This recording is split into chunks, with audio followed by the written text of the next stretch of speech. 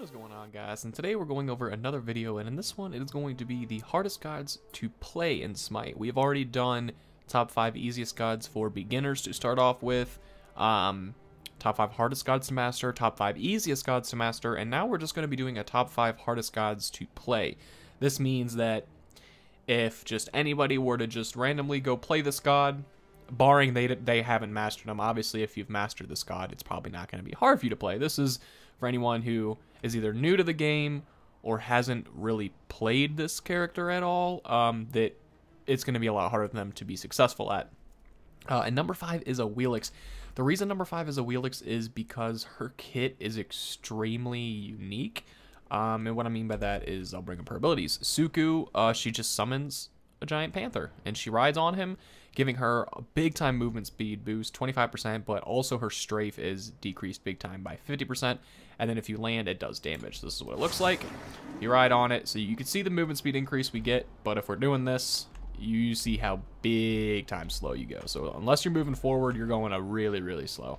Now the best thing to always, always, always do is cancel Suku. Do not jump. Unless you're going for a confirmed kill and they're running away, or you just got out of your spawn and you're starting back harpies or something like that. Like, say this Odin bot is back harpies, right? And I just leave my spawn and I'm running, you know. Go, then you can jump on the back harpies, you know, clear them, go to your speed, whatever, because by then the 13 seconds will be up and you'll have Suku again. But if you're running into battle or something, or you're just running around the map, do not cast Suku, because when you do that, and you jump, it resets the cooldown. If you just cancel, you can ride Suku all over Hell's Creation if you want, and cancel it, resets cooldown. I can ride Suku again, cancel it, ride again, cancel it. Now, obviously, you could see my mana getting depleted. I, I, that's not a smart thing to do to just keep doing this, but you're able to do that. You just, you know, reduce mana. But the second you jump, jump that's when it cancels right there. And that puts you in a very bad spot because now you have no getaway. That is Awilix's only form of getaway is Suku. Use it wisely. Only jump off if you're jumping over a wall to get to safety or something like that, or you're chasing down, or you're initiating. her 2 is going to be her main source of damage, but it's tricky. You can see here it has an attack progression, and usually that's for basic attacks like Osiris or Erlang, but Awilix has an attack progression on her too.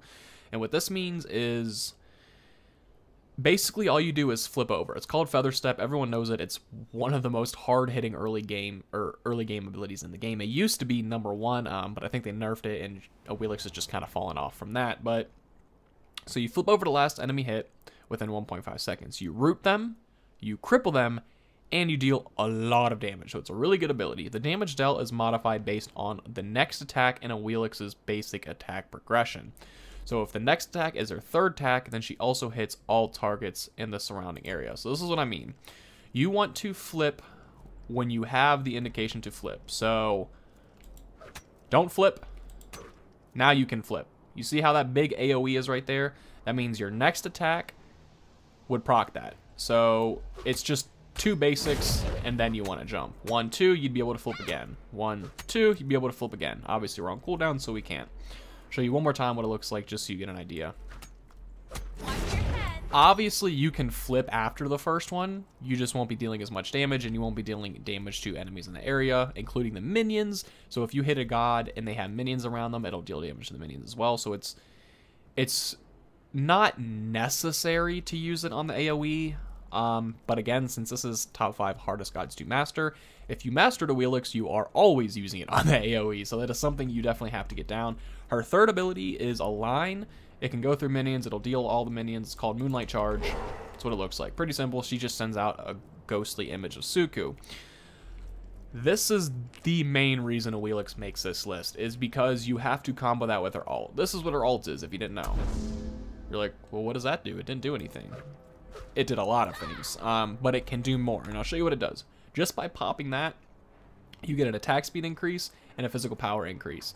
So I get anywhere from 30 to 70% increased attack speed and 20 to 60% increased power.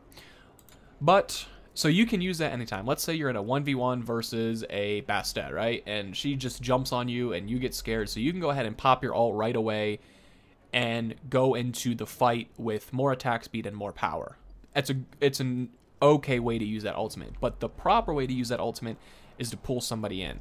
Now, this is barring you don't have gods to help you on your team. So if you're playing a conquest and you're jungle Awilix, you want teammates to help you with your ult. So you want a Geb support to knock up, um, a Vulcan mid to knock up, a He Bo mid to knock up, uh, Shock Solo to knock up with our ultimate, something like that. Because once they get knocked up, let's say Geb were to use his knock up on this Odin, I could just hit my alt and bring him on in. Makes it a little bit easier, but we're going to take in consideration you're just solo queuing and you're not playing with an organized team comp and stuff like that. So in order to get Awilix's alt off, you have to rely on it yourself, and that is with Moonlight Charge. You can see, well, that didn't knock him up right there. That's because Moonlight Charge only knocks up from behind. So you always have to position yourself to be behind the enemy. But when you're sizing them up like this, they know nobody is going to turn their back to Awilix. Even if they're running back to their tower, they're not going to just run back to their tower like this. They're going to face you and backpedal and make sure that they don't turn their back to you. Because they know as soon as you do, Moonlight Charge is coming for that ultimate. Um, so this is what it's going to look like when you actually hit it. And then I'm going to hit my alt right after. You'll see a little indicator on the god that shows you when you want to pull them in. Um, Okay, so it doesn't work on the Odin bot. Let's go try this on Ra real quick, uh, and we'll show you what I mean. But basically, what makes it hard is positioning. You have to be behind them. If they're running, you can hit this thing through walls. You can hit it however you want. Um, but you got to catch them on that, and that's what makes it hard. And once you do that and you pull them in, Awilix will ult them and do it. So we'll show. You can also flip over with your two. So hit one, two, feather step over your opponent, end up behind them, knock him up in the air, and bring him in with your ult. So we'll show you what All that... Alright, Ra gave me a lot of trouble and ended up killing me, but he's apparently glitched over here stuck, so we get a free knock up now. Um, so now we can, we can show you what the knock up looks like. Um, so you knock up, you get that indicator, and you pull him in. Pretty self-explanatory. You can even flip over with that. Um, so once you see that little indicator is when you know you can pull him in. That's what it looks like. Keep in mind, Awilix, although she is melee, she is a long melee. So you could see normally if I were to hit a melee range, I would have to be like right here. Um, but because Awilix has this long weapon, I can be a lot further back. I can be all the way back here. That far away from the Odin bot and hitting them. Um, so you can hit that at opportune times. I want you to keep that in mind. That is why number five is Awilix. It's just when you don't have a team comp that relies... When there's no team comp that helps Awilix, a Wheelix becomes a lot harder to play. Uh, and you have to hit those knockups and everyone knows they're coming, so it just makes her harder to master. Number four. Number four is Chronos. Now, there are a lot of reasons why Chronos is number four, and I'll start off with uh, a really basic one. Uh, by taking a look at his abilities, you can see here his one is a little area. Ground target looks like this. His two is uh, doesn't really do much. You can see his passive. Well, it does do a lot, but there's not much that you do. All you do is click a button, uh, and it does that. But you see his passive stopped on a clock. There's a clock in your passive. There's one, two, three, four. Whatever you stop on is the benefit that you get. So that's one reason it makes Chronos hard is in order to use your two, you have to be paying attention to your passive that's constantly winding around. So that means you have to take your eye off the game, off your cooldowns, off of everything to look at your passive for a split second to see what you want to stop on. And then you have to time it right with your two. So it's really, really tricky. But what its two does is if you land on the first section, you'll heal a little bit. You land on section two, all your mana is refunded on ability. So if you hit the two on section two, and then you hit your one and your three, no mana cost. If you land on section three, you get a 25% power buff. So if you were to hit your abilities after that, you deal a little more damage. And if you hit in section four, you get a 35% magical power contribution to basic attacks. Um, also, on top of that, just by popping your two, no matter what you land in, you get 25% initial movement speed, plus an extra percentage over time, depending on what level you're at, plus attack speed. So by popping your two, you get movement speed and attack speed. You can see here what it looks like, the movement speed, and you get faster, a little bit faster, a little bit faster. Um, but because I landed in my one, I get a little bit of health. If I were to land in two, I get mana back, three damage, for attack speed. The best way to remember it is mana, obviously you could tell is a little mana flask. The sun, think of sun, fire, power, magical power. Uh, the fourth one kind of looks like a little pistol, so think of that as, you know, basic attacks, pistols, basic attacks, and then by default, your 1 is just your health. That's kind of a nice way to remember it. Um, but that is one reason why Chronos is one of the hardest gods to master is no matter what, that thing's constantly moving and it takes away your attention. Uh, and if you want to use Chronos properly, let's say you're low in health, you got to stop on your 1 you want to be able to do that. Let's say you are building attack speed Chronos and you get most of your damage from basic attacks. Well, then you want to stop in your 4. So there's a different circumstance for every single time you want to use just one ability. Not that easy. Second reason he is one of the hardest gods to master is because although he's a mage, he's generally attack speed mage. You can build him power, you can build him in mid lane and stuff like that, but generally when you see Chronos, it's in the long lane as a hunter. Um, and you can see he just has pretty decent base attack speed, and then when you build some attack speed on him, like so, uh, you can see what he can burst out. And he's got that Fatalis effect when you hit an enemy god with your basic, which is really nice for a little bit, so that's why. And then if you were to land your 2 on number 4, you get increased basic attack damage. So basic attacks are I would say a cumulative one of the more harder things in Smite, just in general for people, because when you think about it, the only time you're really, really focusing on basic attacks is if you're a hunter or like Kali or someone like that. But when you're Kali or Bakasura, you have to be up close and personal, so it's really hard to miss unless you're too far away, but then it doesn't matter. When you're hitting long range basics, you got to take in consideration where they're going to go, where they're strafing, stuff like that. So it's just not an easy thing for people to do. Um, so that's another reason why he makes him hard. When you take into consideration his 2 and the fact that he's a basic attack mage for the most part, not the easiest thing. Number 3 reason why he's also really hard to master is his combo. Now you can combo even if you're building him basic attack, but if you're playing him in the mid lane or you're playing him in like ranked duel, generally you build a little more power than attack speed. You might only build one attack speed item. So in order to really do that, you have to hit your combo together. And this is what it is. His, I already showed you his one, which is going to look like this. It's going to do some damage. It's going to do a decent amount of damage. His three, you're going to send out a little time rift, and it's going to stun after a second. So the idea is to try to get that stun off and hit your time rift right after. Um, so the time the stun goes out really really slow so it is harder to hit. You got to really time it or try to be up close and personal. And then when you do that uh, i forgot that was on instacast. That was my fault but you get the idea. Once you do that and they're stunned you basically get a free shot for your time rift to hit and i'll try to show you again right here.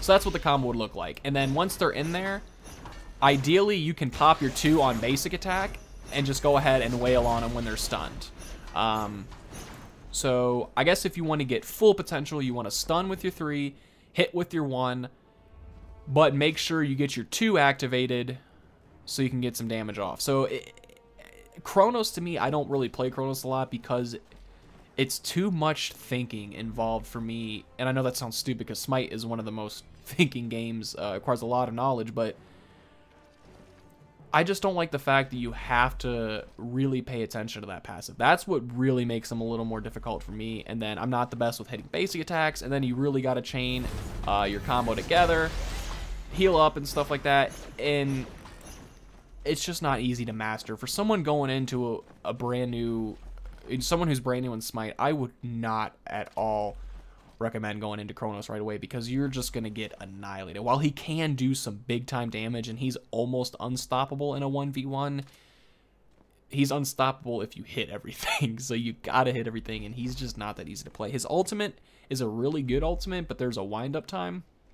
Basically, you just travel 8 seconds into the past. So if 8 seconds ago you had full health and full mana and you're about to die right now, pop your ultimate. This is what it's going to look like. You literally go to the exact spot you were eight seconds ago. So if eight seconds ago I was over here, and I'll show you. We'll just pop this, run all the way over here, and then pop my ult. So I'll go all the way back over here. That's his ultimate, but it has a wind-up time. So if you're about to die and you think you're going to die, you can't just pop that ult with 100 health left because you're not going to make it and you're going to waste your ultimate. You have to time it perfectly so you know you can get out with just the right amount of health and get back into the team fight. Yet another aspect that makes Chronos hard to play. Uh, in my opinion, man, he's just not that easy. Not an easy god whatsoever. On to number three.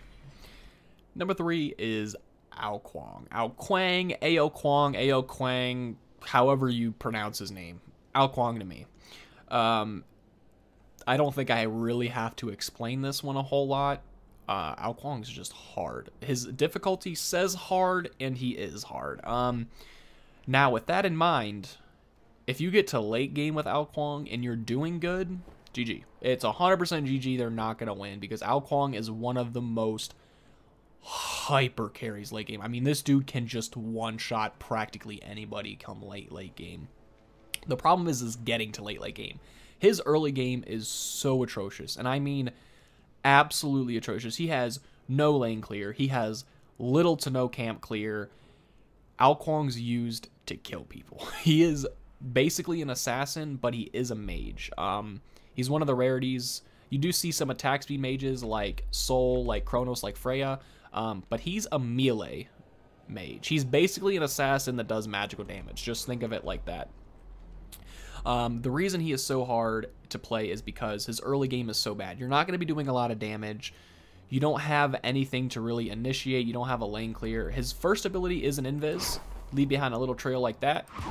And you can explode it for damage. So it's kind of a getaway. Um, but the problem is, is people see where you go. So if I invis this way, they're going to know it. If I invis this way, they're going to know it. So the best thing to do if you're going to invis with Ao Kuang would be to go one way and then go the complete opposite way because they see your figure going this way, but you're actually going this way.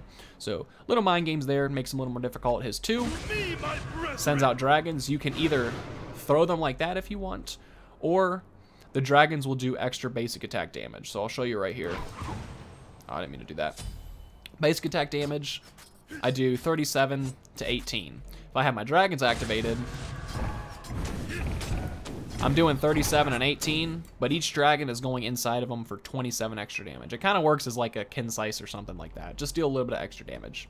Uh, his three looks like that. Just sends out little things.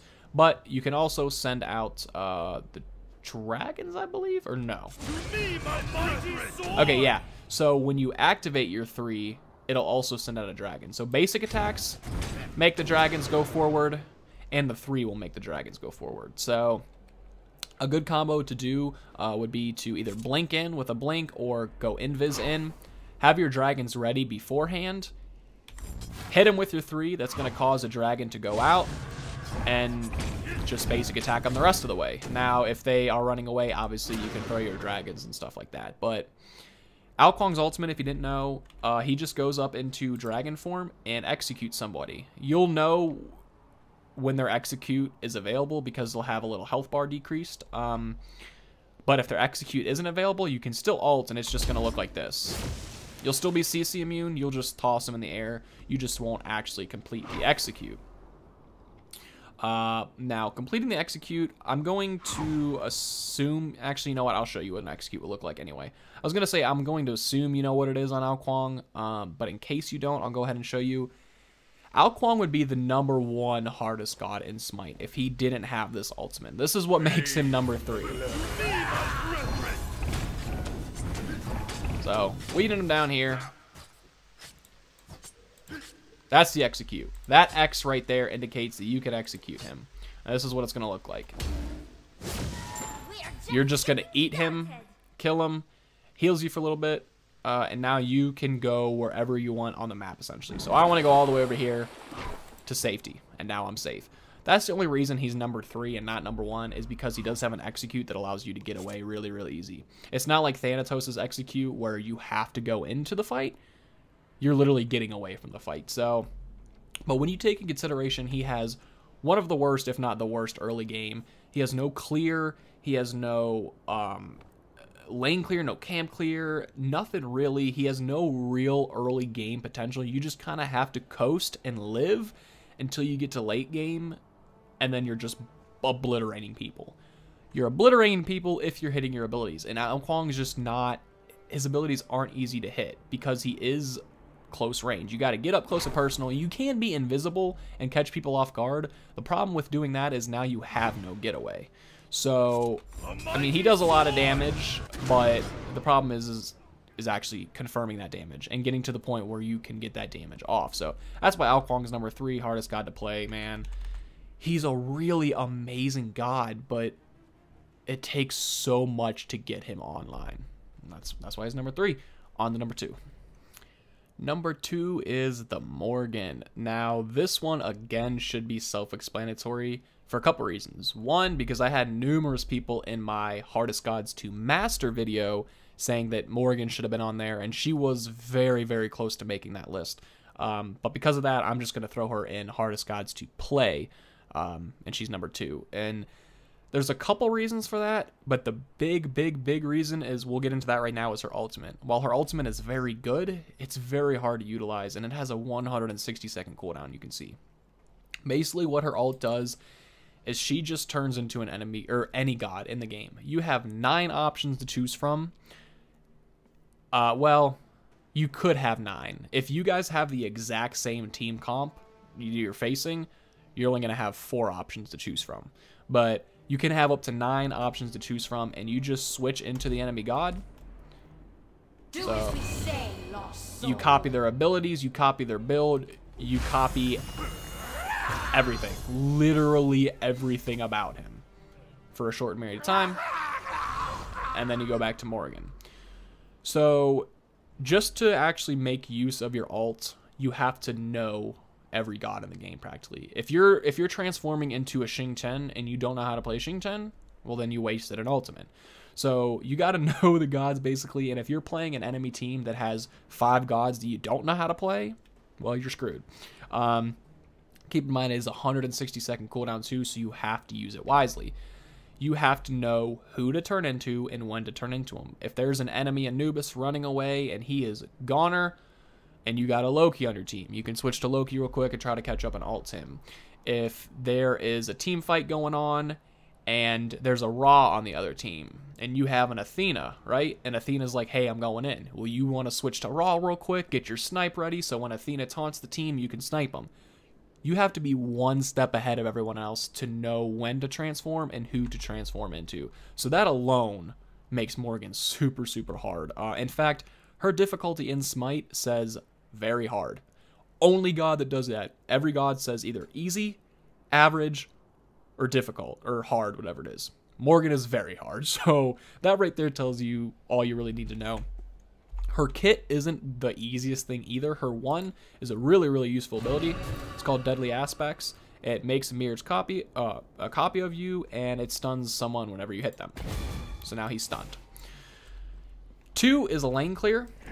Just looks like that. But whenever you do that, you see that little hourglass above them. That means the next ability that hits them is going to deal extra damage. You can see here. So you launch Wave of Dark Magic, hitting abilities, deal bonus damage to minions, and applies an Omen for 8 seconds. Gods with an Omen will take bonus damage the next time they are hit by a damaging ability. So my one, you see, does 103 base damage. Now, if I were to hit my two, and then my one, we'll see right here, so we go from 103 to an extra 31. So you can see the damage does there. Her three really, really, really strategic ability. It's an invis, um, but not the best invis. It's called confusion. This is what it does. You send out a mirage of yourself, and she just runs to the nearest enemy god. Um, so you have to really, really use that strategically. You can use it as a getaway because you do get movement speed up to 40%. But if you want to use Morrigan correctly, save your alt for when you pretty much know you can confirm a kill or you need to get out. And then play Morrigan as a very, very sneaky uh, player not like a mage. Player like an Ao Kuang Loki hybrid. Like player like that. Because if you can send out a decoy and just throw people off and they don't know what's happening and they see this running at you, right? And he's like, oh shit, he's coming. And you can come around another angle, hit him with this, stun him out. And if you have Polynomicon and you get that 3-1 combo, stunned basic attack, and keep in mind with Morrigan's passive, the third hit will explode, dealing extra damage. So we'll see here. One, two, that's the three hit. It's going to deal extra damage like that. If you have your two, one, basic attack, Polynomicon, and your passive, game over. They are not surviving that late game, so you can really be strategic and sneaky with this with this invis. It can be played into big time. You could even use that to blink in and just completely surprise them and catch them off guard. But the main reason Morrigan is number two is that alt. Complete game changer, but her kit also isn't the easiest thing. She does have lane clear, which makes her a little bit easier to play. You don't have to worry about clearing lane. Um, but to really utilize her and just play her correctly, it's hard. And if you want to even play her, it's not a good idea to play Morrigan until you know everybody else because you might get thrown into a situation where your ult is utterly pointless because you don't know what you're doing. Morrigan's number two, on to my opinion, the number one. I will say that Morrigan very, very easily could have been number one. It was kind of a toss up between one and two, but I think you'll understand why I chose number one to be number one. And number one is Hel, one of my favorite gods in Smite. But man, when I play Hel, two things happen. I either go 1 and 10 or 20 and 0. There's no in between. I either shit the bed or make everybody run in fear. Um, and that's because Hel is really, really hard to play. When you're playing Hel, two things are going to happen. The game's either going really, really well or the game's either going really, really bad. And that's because there is so much that comes with Hel. She is a stance changer which means she has six abilities because her ult is the stance change. So she has no ultimate. Keep that in mind. So a little bit easier, but when you have six abilities, that's obviously makes it more harder. Now, when you have three abilities that do damage and three abilities that heal, not only do you have extra abilities to account for, but you have an extra role to account for. So, in Hel's damage stance, here's her abilities. You can read through that. There's a lot to go through, so I'm not going to read it all. If you want to, you can pause it right now. Okay, now with that being said, when you're in her damage stance, it, it's it's self-explanatory. They Hel used to be more of a support solo lane type of god, even though she couldn't really work in either of those roles. That's the only one she could kind of do. Now they switched her so she's a mid laner and, and she can clear wave good and she's a true mid laner, I would say. But her one's gonna look like this does damage. It'll go through minions and explode at the end of the range if you don't hit a god, or it'll explode as soon as you hit a god. So if I'm really close to him, it'll explode as soon as I hit him. The two is to be a little thing like this. It's to slow down the enemy, um, if I'm correct. Yeah, so the dark debuff is going to slow them, and it uh, reduces their protection. So reduces protections by up to 25 and slows them by up to 40%. So you got a nice lane clear that does a little bit of AoE, uh, and a slow debuff that you got to use very strategically because if someone's running away, you can use it to slow them down. Or you could also place it at your feet if someone's chasing you to speed you up a little bit. Your three is going to deal big AoE damage. It's going to look like this. It's just going to send out a pulse of damage like that. Nothing much to it. Um, yeah, all it does is the damage, but it does a lot of damage. And I will say this, if you're playing Hel, you might as well go all in and be really, really cheeky and buy Blink. Because come late game, second item. Get Aegis or Beads first item. But second item, get Blink because when you get hit by this, a full damage Hel late game, that's over. You're automatically below half health and you gotta run, especially if you're a squishy. So it's really disgusting. Her ultimate obviously is just changing the stance. So you got all of her damage abilities down not the most complicated thing, a relatively self-explanatory lane clear. Um, but if you hit a god, it's going to explode, so it can be body block. Keep that in mind. A slow and some AoE damage. Uh, but she's very, very immobile, as you can see. They can get caught out easy. That's another reason she's hard to play is you get caught out. Now, if you don't want to get caught out, you want to be using your healing a little bit more because her one heal is going to do damage if you hit enemy minions. I don't think it does damage on gods. It might. Okay, so it does still do damage on gods.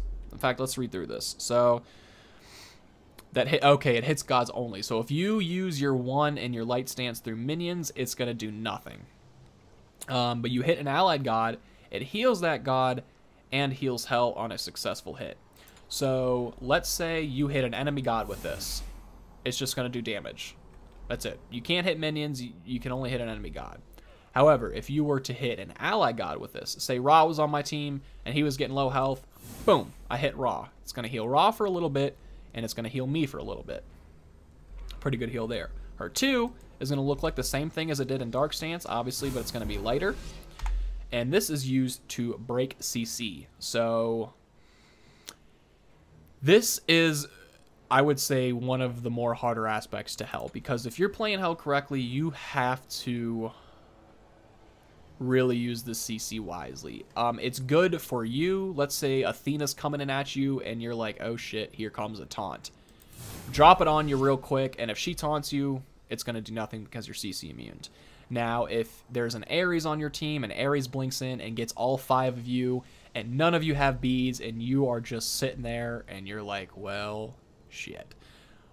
Get your team together, get all five of your teammates together, say, hey, group up. Boom, CC immunity. All five of them are not affected by Ares ult anymore. So you have to use Hel in her light stance very, very, very, very strategically. Now her three is to kind of be like her repulse. You see in Dark Stance it was this. And Light Stance, it's just a heal. It's not to do any damage to anybody. It's just going to heal yourself and heal allies. But you get movement speed as well. So this is the only movement speed or getaway she has in her kit, and it's by healing yourself, and you get a 25% movement speed. Now you pair this with something like Shield of Regrowth, and then you'll get even more movement speed when you heal yourself. So that is a good combo to keep in mind. Um, but the reason Hel is the hardest god to play, um, she's a stance changer, which always throws people off. Not only is she a stance changer, she's a stance changer, where in one stance she deals buku amounts of damage and can slow their enemy and debuff them. And then in the other stance, she does virtually no damage and is used just as a healer and to cleanse teammates of CC. So you have to be in an attack mindset to deal some damage and in a squishy support mindset to free your enemies or free your allies and heal them and stuff like that.